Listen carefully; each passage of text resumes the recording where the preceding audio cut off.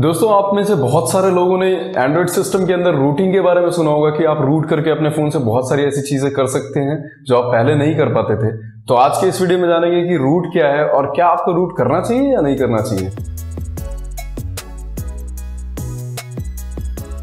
नमस्कार दोस्तों, मैं हूँ चंद्रेश, आप देख रहे हैं गीकाचार्य और आज बात करेंगे रूटिंग की। दोस्तों रूटिंग बेसिकली आपके एंड्रॉयड सिस्टम के अंदर बहुत ही लो लेवल का कंट्रोल आपको अलाउ करता है। रूट बेसिकली वो डायरेक्टरी होती है जहाँ से सारा एंड्रॉयड सिस्टम शुरू हो रहा होता है। तो सबसे नीचे की डायरेक्टरी सबसे लो लेवल की डायरेक्टरी का एक्सेस आपको मिल जाता है रूटिंग करने के बाद। अब रूटिंग क्यों करते हैं? क्योंकि एंड्रॉयड का जो वेरी नेचर है, जो एंड्रॉयड का नेचर है, वो है कस्टमाइजेबिलिटी आप अगर कोई भी दो एंड्रॉयड फ़ोन अलग अलग मैन्युफैक्चरर के देखेंगे, जो सेम ऑपरेटिंग सिस्टम वर्जन पे चल रहे हो, जैसे एंड्रॉयड सेवन पे दोनों फ़ोन चल रहे हैं पर दोनों देखने में अलग लगेंगे, उनका लुक एंड फील अलग होगा। क्योंकि एंड्रॉयड को इतना कस्टमाइज किया जा सकता है कि उसका हर एक एलिमेंट कस्टमाइज किया जा सकता है और हर एक एलिमेंट को यूनिक बनाया जा सकता है, एक दूसरे से अलग अलग बनाया जा सकता है। तो रूटिंग का सारा जो इंपॉर्टेंस है वो इसी से है कि आप अपने सिस्टम को चेंज कर सकते हैं सिस्टम को बदल सकते हैं, बिल्कुल जैसी भी आपकी मर्ज़ी हो।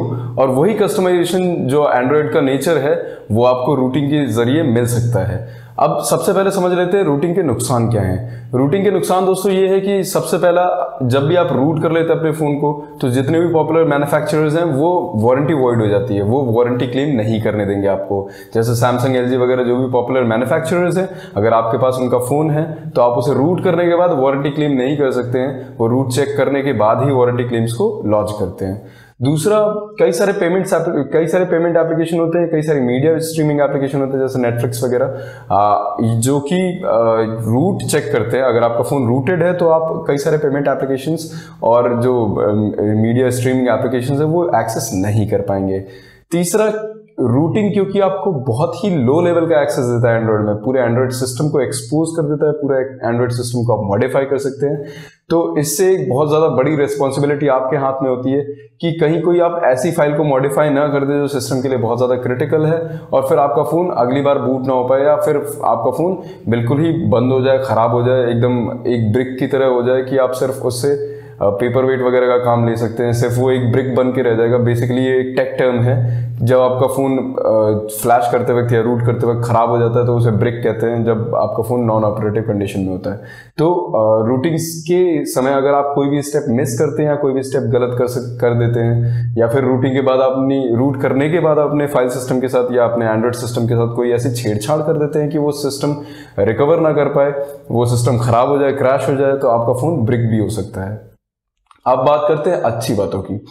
रूटिंग ज़्यादातर ऐसे रूटिंग के बाद ज़्यादातर ऐसे कस्टमाइजेशन करते हैं लोग, जो कि उनकी एंड्रॉयड एक्सपीरियंस को, जो कि उनके फ़ोन के एक्सपीरियंस को बेहतर बनाता है। जैसे कि नाइट लाइट एंड्रॉयड सेवन में इंट्रोड्यूस हुआ था। पर रूट एप्लीकेशन के ज़रिए ये बहुत पहले से लोग यूज़ कर रहे थे। Night light basically blue light जो आपकी स्क्रीन से निकल रही होती है, उसको कम करता है। और इसकी वजह से जो आपकी आँखों में स्ट्रेन पड़ रहा होता है, वो कम हो जाता है।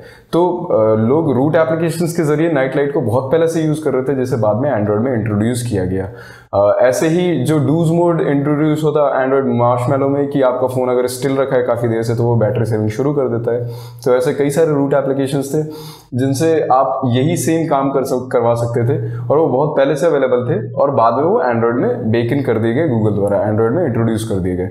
तो बेसिकली रूट आपको ऐसे फीचर कस्टमाइजेशन अपने फ़ोन में इनेबल करने की सहूलियत देता है कि आप अपना जो एंड्रॉयड एक्सपीरियंस है वो बेहतर कर सके और जो बाद में, इसका इंपॉर्टेंस आप इससे समझ सकते हैं कि बाद में गूगल उन्हें नेटिवली एंड्रॉयड में इंट्रोड्यूस कर देता है। एंड्रॉयड ओएस के अंदर ही डाल देता है उन्हें, ऐसे फीचर्स को।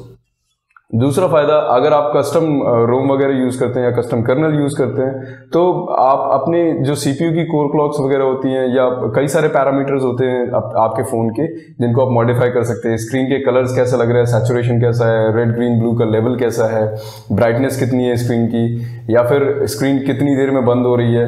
ये सारी चीज़ें आप मॉडिफाई कर सकते हैं। सी की क्लॉक स्पीड कम या ज़्यादा कर सकते हैं जिससे कि आपकी बैटरी सेव होगी या फिर परफॉर्मेंस बूस्ट होगा।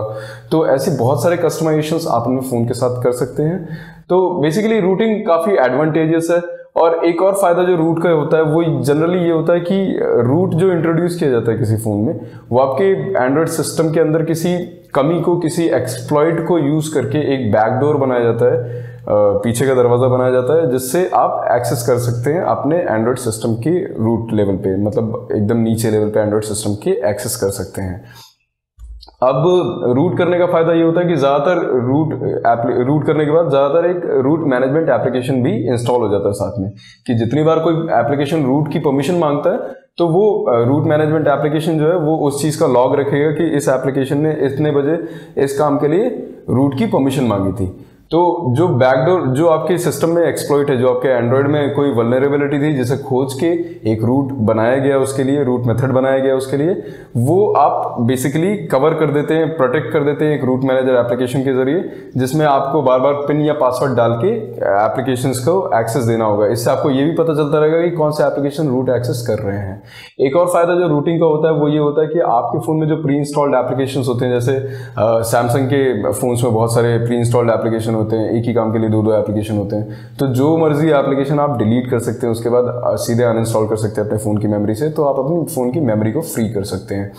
और इस तरह के बहुत सारे टूल्स हैं जो रूटिंग आपको अनलॉक करके देता है। अब आपको रूटिंग करना चाहिए या नहीं करना चाहिए? आपको देखना यह है कि आपका यूज़ केस क्या है। क्या आप अपने प्रेजेंट स्मार्टफ़ोन एक्सपीरियंस से सेटिस्फाइड हैं? अगर आप अपने प्रेजेंट एंड्रॉयड स्मार्टफ़ोन एक्सपीरियंस से सेटिस्फाइड हैं तो बहुत अच्छी बात है आपको रूट करने की कोई ज़रूरत नहीं है। कोई ज़रूरत नहीं इतनी परेशानी लेने की।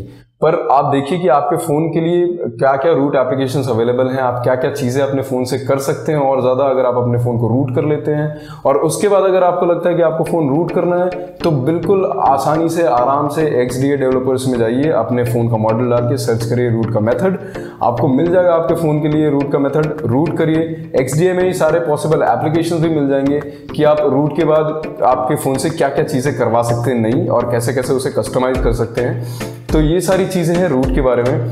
आपकी मर्ज़ी है रूट करें, ना करें, पर रूटिंग के, खुद के अपने कुछ फ़ायदे, खुद के अपने कुछ नुकसान हैं। आपके यूज़ केस पे डिपेंड करता है कि आपको रूट करना चाहिए या नहीं करना चाहिए। इस बारे में सबसे बढ़िया रिसोर्स जो है इंटरनेट पे अभी अवेलेबल है, वो है एक्स डी डेवलपर्स फोरम आप कभी भी वहाँ पे जाके अपने फ़ोन का मॉडल सर्च करके आप रूटिंग के बारे में और भी ज़्यादा चीज़ें जान सकते हैं। मैंने दो वीडियोस के लिंक्स भी डिस्क्रिप्शन में डाल दिए हैं, जो कि मुझे काफ़ी पसंद है रूटिंग के बारे में। पहला तो एज रिनोक एक्स डी डेवलपर्स के एक मेंबर थे, उन्होंने एक्सप्लेन किया। दूसरा टेक्निकल गुरु जी ने एक्सप्लेन किया है। तो प्लीज़ अगर आपको रूटिंग के बारे में और कुछ भी जानना है तो प्लीज़ उन वीडियोज़ को भी देखें। और एंड्रॉइड स्टोरेज वाली वीडियो में मैंने बात की थी सिस्टम पार्टीशन की। एंड्रॉइड में कई सारे पार्टीशन होते हैं सिस्टम पार्टीशन की बात की थी मैंने उसमें। और रूट बेसिकली सिस्टम पार्टीशन पे ही कंट्रोल या एक्सेस आपको ग्रांट करता है। तो आप एंड्रॉइड स्टोरेज वाली वीडियो भी देख सकते हैं आई बटन पे क्लिक करके। और इस वीडियो में इतना ही। मुझे बताइए आपको वीडियो कैसी लगी? कमेंट्स में मुझे बताइए अगली वीडियो के लिए सजेशंस वीडियो को लाइक करिए अगर आपको मेरा काम पसंद आए शेयर करिए इसे अपने दोस्तों के साथ। चैनल को सब्सक्राइब करिए और बेल आइकन दबाइए ताकि आपको नोटिफिकेशन टाइमली मिलते रहें। नमस्कार दोस्तों आपका दिन शुभ हो। वीडियो देखने के लिए धन्यवाद।